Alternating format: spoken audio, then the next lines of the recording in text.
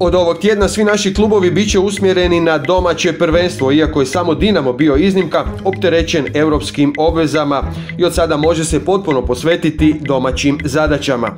Prva takva čeka ih već ovog vikenda u gradskom vrtu protiv Osijeka gdje je Bijelica stvorio ambijent na tragu Splitskog Hajdučkog. Siguran sam da već evo u nedjelju će e, to izgledat e, onako kako kako su svi inače i navikli. Igramo protiv jednog renomiranog protivnika, kvalitetno kojem čestitamo e, generalno im čestitamo na dobrim rezultatima u Europi i kako su predstavljali hrvatski, hrvatski nogomet već četvrtu sezonu u nizu. Međutim, e, vjerujemo u sebe, vjerujemo u našu kvalitetu, vjerujemo u našu energiju dobru, e, vjerujemo u svakog pojedinca. Naravno, vjerujemo da ćemo uz potporu naših navijača doći do vrijedna tri boda. U Jadranskom derbiju ovo je po najavama bilo najteže gostovanje Rijeke do sada i ne samo u ovoj sezoni, već kad gledamo posljednjih 10 godina, a oni su i u prvom dijelu sezone pobjedili Hajduk, znali su to raditi, sjećamo se za vrijeme Keka, triumfalno proći Splitom, a sada su to potvrdili i sa fenomenalnim Tomićem. Hajduk je stvorio sjajnu euforiju, kako na travnjaku, tako i na tribinama, no Rijeka je demantirala s 3-1 sve najave oko lagane pobjede Hajduka.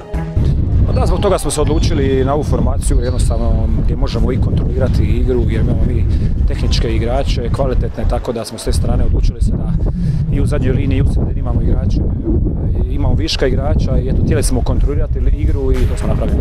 Ne smijemo zaboraviti činjenice koje je ispisao Dinamo.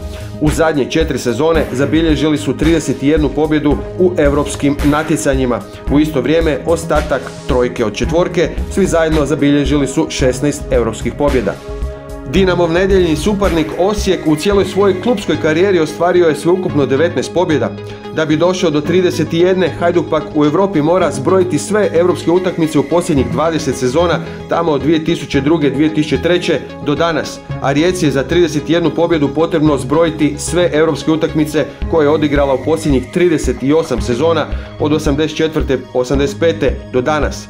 Stoga treba zaključiti da je iza Dinama izuzetno uspješna europska sezona.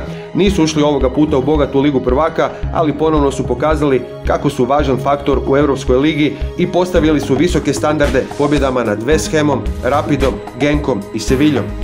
Protiv druge, druge momčadi Španjolske lige stvarno puno zvijezda u ekipi, da pobjediš takvu ekipu stvarno svaka čast cijeloj ekipi. Borba do, do zadnje sekunde, E, ipak jako smo sretni i ponosni što smo, što smo prošli. E, znamo da znamo bilo sasvim jasno da će biti teško, jel? Čestitati Dinamu na pravoj utakmici i na pobjedi. Za nas najbolje da smo prošli, sad idemo se dobro pripremiti za, za sve što ide. Možemo, kažem, biti ponosni na ovakvu utakmicu, ovakvu predstavu Dinama i ovo je prava slika Dinama.